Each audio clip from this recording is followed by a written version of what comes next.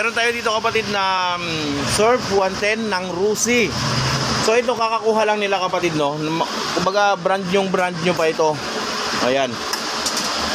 Ang tinakbo niya ay 883.7 kilometers kapatid.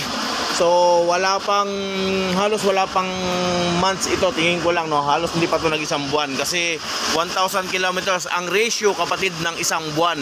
Yan 1000 so ang problema nito ay hindi gumana yung kanyang electric starter. Pero it- ito gumagana na to ngayon. Oh yan na. Gumagana na. Kasi kapatid ganito yung nangyari sa kanya hindi gumana yung electric starter kahit na bago pa lang kakakuha. As in kakakuha pa lang, nung unang kabit daw ay napagana pa nila. And mm, dumating yung mga tatlong araw, dalawang araw ay hindi na nila mapagana yung kanilang electric starter.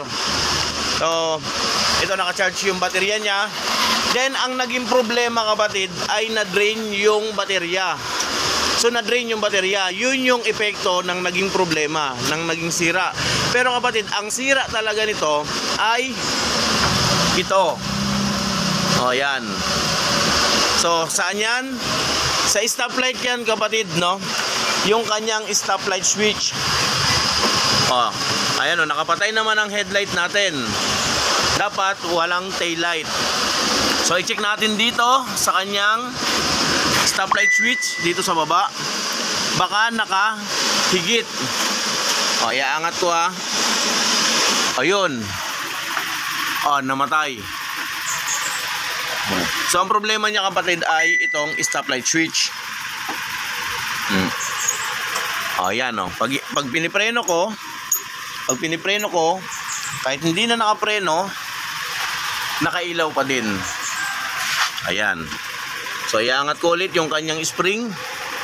So, dinudukot lang naman yan dito kapatid. eh. Kasi yung spring na yan, yan yung nakikita yung alambre na yan, yan lang yung humihila. So, may problema kapatid yung kanyang stoplight switch. Ito yon Yan, dapat palitan yan.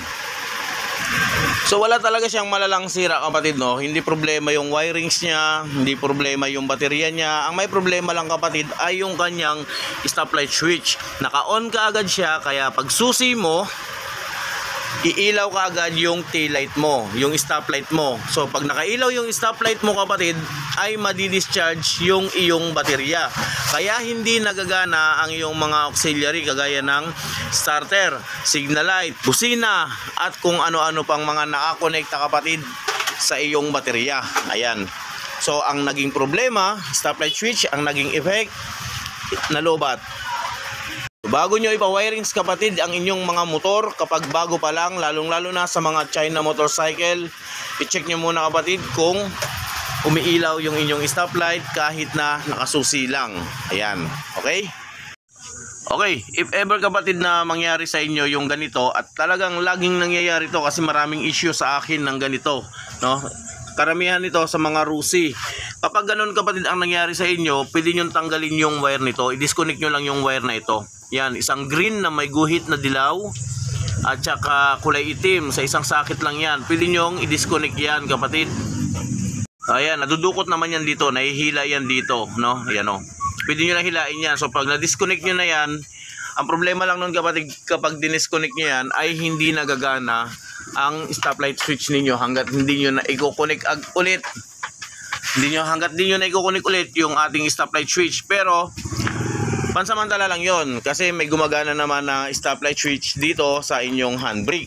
So kapag nagpreno kayo kasabay ang handbrake, so iilaw pa rin yung hulihan ninyo pero hindi na madi-discharge. Ngayon kapatid, kung hindi nyo naman ito matanggal, yung wire na ito, yan, pwede nyo naman yan tanggalin yung spring, no?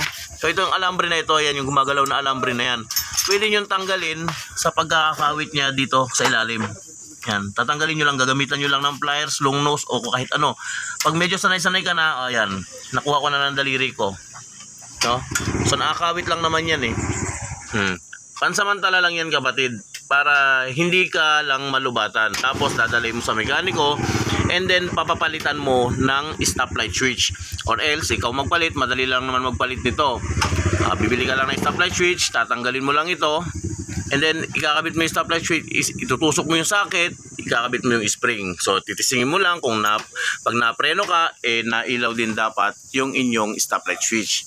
At take note pala mga kapatid ha, huwag nyo hong patatagalin ang inyong motor na ganun ang problema.